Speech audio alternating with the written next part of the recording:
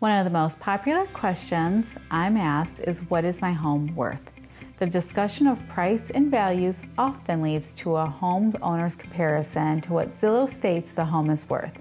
Sometimes the numbers are close and sometimes they're way off. Why is that?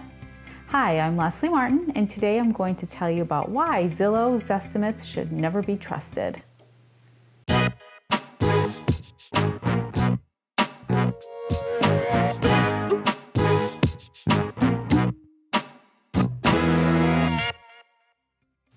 Well, here is a direct quote from Zillow's website. The median error rate for the country is currently 5%, meaning half of the estimates nationwide were within 5% of the final selling price, and half are off by more than 5%. In other words, Zillow gets half of their estimates within 5% of the actual valuation, but it also gets the valuation wrong half of the time as well by more than 5%.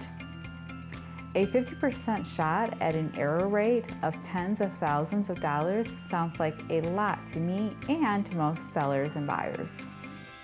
I can attest from working with buyers and sellers who will often negotiate over hundreds, let alone thousands of dollars. 10 to $20,000 is a huge margin of error and the dollars only get bigger as the home values get bigger. In several aspects of life, we rely on computers, computer programs, algorithms, and math for a lot of problem solving. However, determining the value of your home is not an equation. It's a combination of determining the right data to evaluate, coupled with an analysis of the data and the knowledge to understand the values associated between the differences between the homes.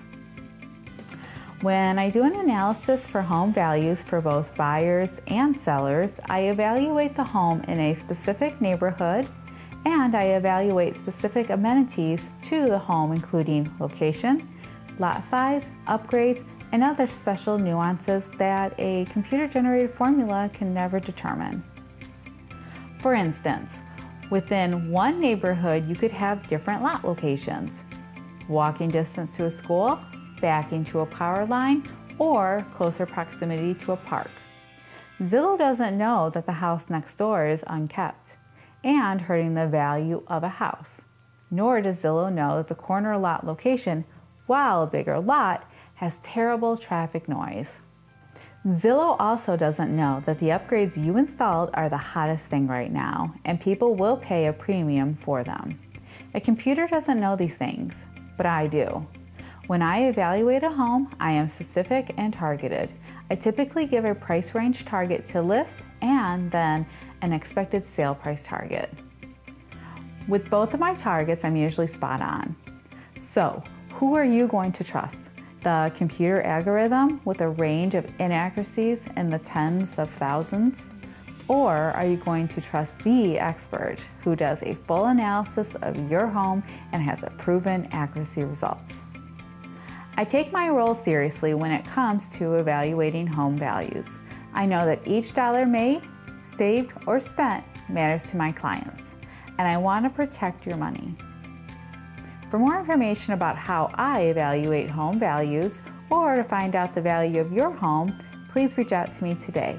I'm Leslie Martin. Thanks for watching.